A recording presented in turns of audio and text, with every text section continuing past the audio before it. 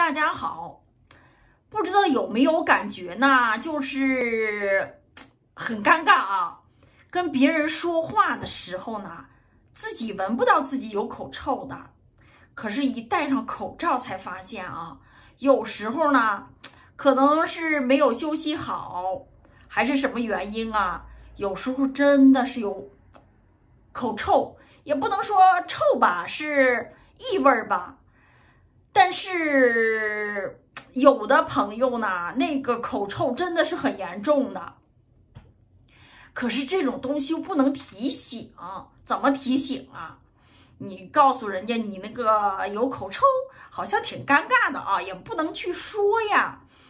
呃，你说如果是单纯的口腔出现问题吧，还好说，吃一个；如果说是牙齿的问题或口腔问题。吃个药就解决了。有时候呢，我会用这种漱口水，我觉得还可以。呃，可是你说，如果说是身体的原因，不是你口腔问题，是你肠胃反上来的味道，怎么办？很尴尬，又不能去跟朋友们去说。我觉得，反正是有的人真的是口气很严重的。嗯，因为自己原来有吧，也不知道，现在不是戴口罩了吗？就知道了。所以有一个朋友跟我说，是让我吃这种吃这种药，是一种酵素，是一种酵素。呃，吃了效果还挺顶事儿的，三天就能见着效果了，一天两粒儿。所以说效果还是挺明显的。就是说，你有口臭呢，没有问题。我的属于是还不是，我不属于口臭的，所以我吃一天吃了一粒儿就行。他告诉我，如果说口气严重的，你吃两粒儿；口气不严重的，就吃一粒儿就可以。那个工作中呢，真的遇到人，有的是口气很大的，但是真的不好意思跟人家别人去说这个问题。现在可能一戴口罩，大家也都知道自己有没有口臭了吧？不戴口罩的时候可能没有什么感觉，这戴上口罩以后真的是很明显的，很尴尬呀。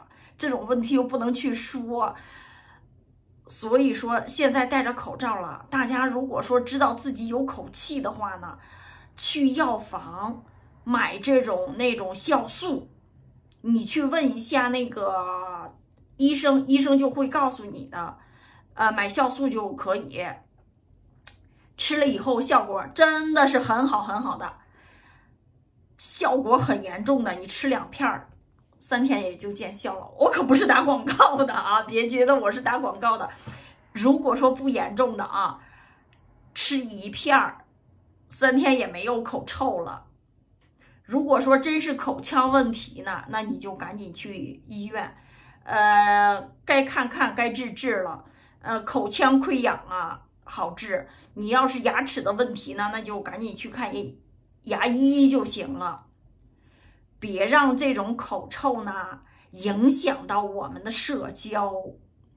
口臭是真的很影响社交的。像我这个岁数大了，可能还好点吧。再说脸皮也厚了。但是你要是年轻人的话，这是很尴尬的吧？你说你处在搞对象的时候，一开口哇，把对方熏跑了。年轻人如果有口臭的话呢，赶紧去药房买药去。这个东西药房是有卖的，虽然贵点儿吧，但是对自己的身体呢是很好的。不管是不管是男孩子还是女孩子，你说你遇上你特别喜欢的一个人。因为口臭给吹了，多遗憾呢！如果有口臭，赶紧去买药吧，千万别影响我们的社交，别影响我们的好姻缘。好，谢谢大家，我们下期再见。